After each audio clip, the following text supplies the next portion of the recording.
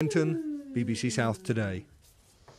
Well, in Berkshire, they're hoping prevention will be the cure to some of the NHS's issues.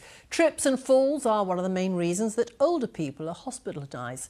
So, at a community centre in Bracknell, they're educating pensioners on the best way to stay safe and assessing those most at risk. Ben Moore joined a session.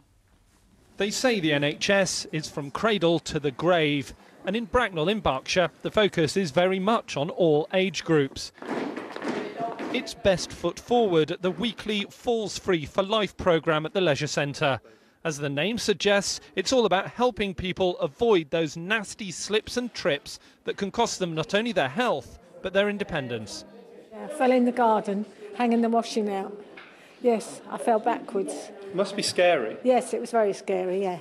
And the whole objective of what we're trying to do is to keep people out of hospital, keep people happy, keep people engaged in their own home and community for longer.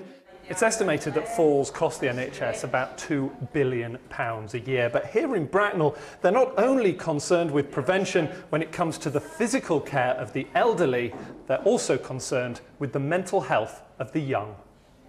At Harmans Water Primary School, a new lesson is on the timetable. The subject, feelings. This week, leading children's charity Place to Be has said nearly two thirds of children worry all the time about home and school life. Normally, like, if you're like feeling down, it affects everything. So, like, it would affect your work as well all the time across our country, issues such as self harm, anxiety are becoming big problems. So, what we know from evidence is if we start the conversation early, we can help kids understand what they're feeling and, most importantly, seek help when they need to.